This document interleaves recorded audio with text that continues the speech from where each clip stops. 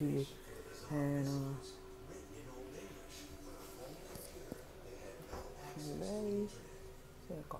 Oh, I'm on, and I'm just whispering to myself.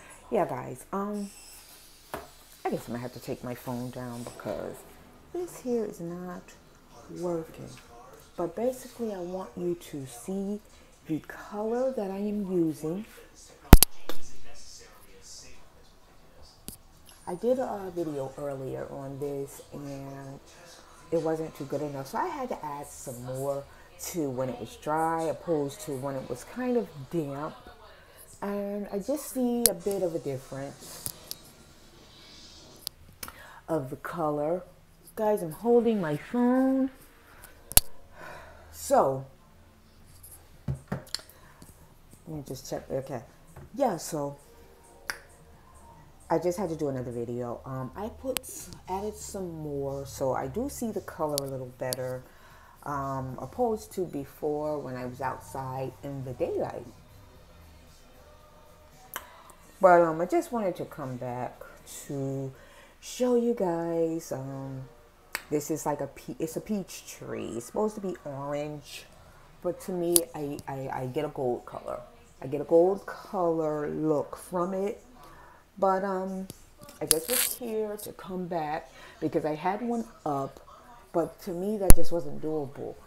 But let me know if you guys see the orange color. But I, I may do another one because I want it in the sunlight.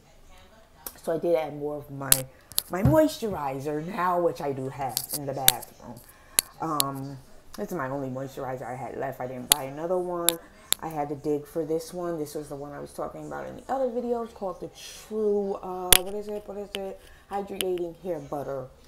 Um, it's not stiff or anything. It's kind of, kind of like a, not too hard and a little more watery than usual, but that's how I like my um, moisturizer. So I moisturized with this, which made my hair a lot better because it seemed kind of dry. As somebody says, it'll dry it out. Um, and I forgot I ran out, and I really wasn't putting moisturizer in my hair for the last week. But um, I'm back with my moisturizer, and this is what I was using.